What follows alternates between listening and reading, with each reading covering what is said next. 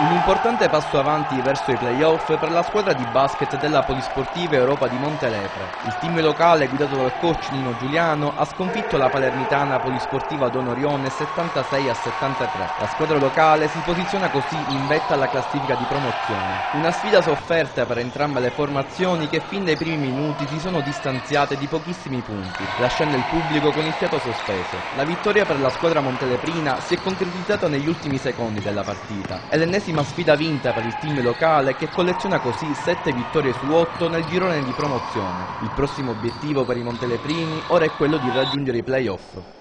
È una partita soffertissima, giocavamo con la prima della classe, i ragazzi ce l'hanno messa tutta, determinazione, voglia di vincere e poi questo è un gruppo che non ci sta a perdere, quindi ha lottato dal primo minuto fino alla fine, è stata una bellissima partita, il risultato ci è stato favorevole, quindi siamo soddisfatti.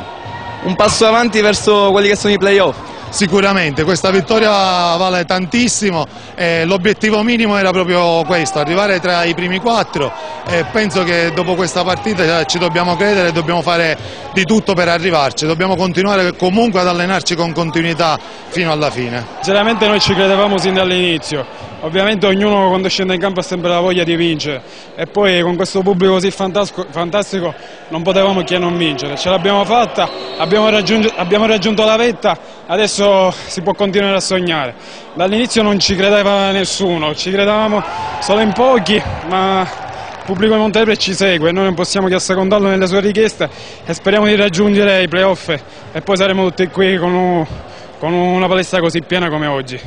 Volevo ringraziare tutti, tutto il pubblico che c'era qua, tutta Montelepre e tutti quelli che non, non ci hanno potuto seguire, ma gli diamo l'appuntamento, speriamo davvero di incontrarci nei playoff.